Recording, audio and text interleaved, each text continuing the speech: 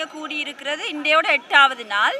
நாங்கள் ஏன் இங்கே வந்த நாங்கன்னு சொன்னால் இந்த நாட்டின் ஜனநாயகத்துக்கும் இந்த நாட்டின் யாப்புக்கும் குந்தகம் விளைவிக்கிற வகையில் இந்த நாட்டின் ஜனாதிபதி நடந்து கொண்டதும் இந்த நாட்டின் பாராளுமன்றம் மூடப்பட்டதும் ரெண்டு பிரைம் மினிஸ்டர் இந்த நாட்டில் இருக்கிறதும் பாரதூரமான பிரச்சனை. மற்ற அது தவிர இந்த நாட்டில் இப்போது நடந்து கொண்டிருக்கிறது என்னென்று சொன்னால் நான் பிடிச்சி கொண்டிருக்கிற ஸ்லோகன் எங்கட வாக்கை பெற்று போட்டு எங்கட வாக்கை எங்கட பாராளுமன்ற உறுப்பினர்கள் வியாபாரம் பேசுகிறார்கள் ஜனநாயகம்ன்றது வியாபாரம் பேசப்பட வேண்டியது ஒன்று இல்லை.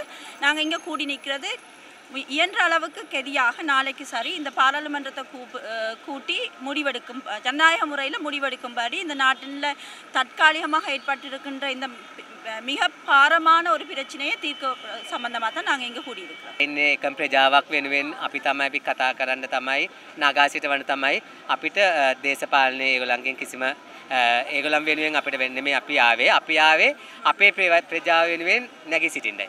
President and the so-called new government to know that the LGBTIQ community is here to stay.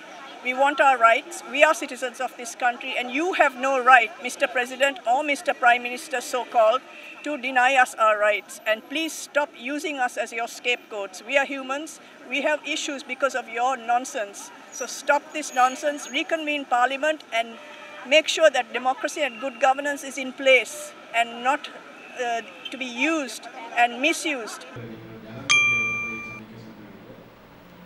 அது சம்பந்தமாக நீங்கள் என்ன கருத்து என்ன